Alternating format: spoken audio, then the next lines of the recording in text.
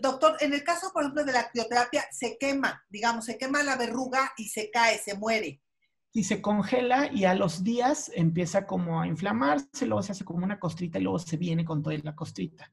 Eso es si, si hicieran esto, pero se puede también con bisturí, o sea, cortar. Sí, pero tienes que anestesiar, tienes que cortar, tienes que Coser. suturar, cosa que no haces en crioterapia. Ok.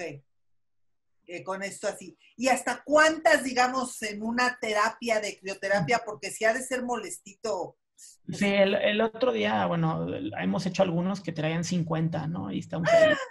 Y los dejen un rato porque si nos tardamos en un ratito en eso. No, qué barbaridad.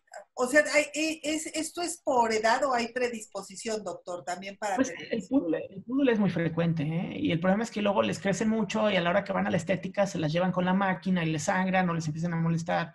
Eh, y mucha gente también ya le da miedo operarlo porque dice, pues, para quitar una verruga no lo voy a arriesgar a una anestesia general, ¿no? Cosa que la crioterapia nos ayuda mucho. La Pero- crioterapia es una congelación con nitrógeno.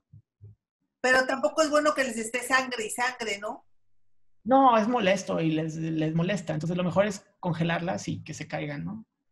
El doctor Alberto Martín Cordero, ha sido un gusto tenerte hoy con nosotros, doctor Beto. Gracias, gracias. Sabíamos que estuviste toda la mañana en otro curso y ahorita pues con nosotros aquí en Jackie Junior. Muchas gracias, doctor Beto. Un abrazote. Un abrazo, gracias por la invitación y esperemos vernos por aquí pronto y cualquier cosa estamos a sus órdenes.